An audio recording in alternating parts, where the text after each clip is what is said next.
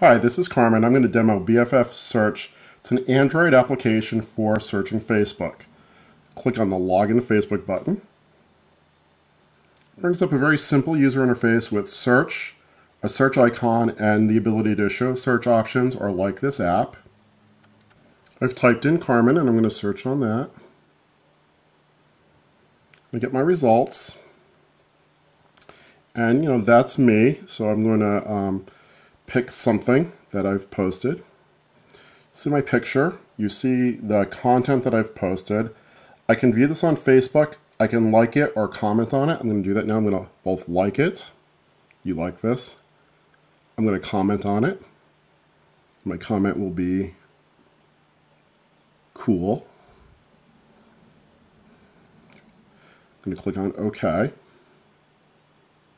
It's like my comment. Now I'm going to view it on Facebook, and we should see those things that I just entered in the Facebook interface. So six seconds ago, seems like it was uh, quicker than that, I said cool. We'll go back to the search interface, and I'll choose some other search options.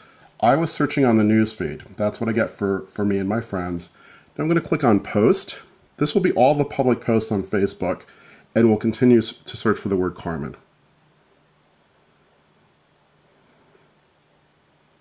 And you know, lots of people had the word Carmen somewhere in their um, in their status.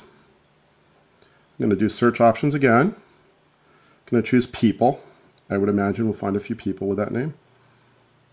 Yeah, there's me, a few other people. Do search options again. Pages are a lot of fun. I'll do pages. Let's do some different content. And I'll use the uh, speaker on the phone to try this one. Try that again.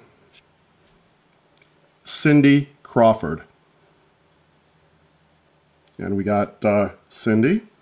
I'll do a search for that.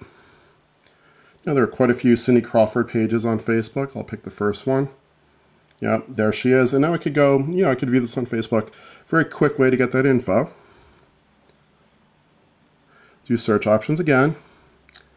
Going to do events as the last uh, item. I'll, I'll clear that out. I'll do a search again. Pound Ridge. And it picked up Pound Ridge. Um, again, doing a search on events. So we find out what's going on in the area. The theater company is having auditions. Um, a few people are playing at a local restaurant.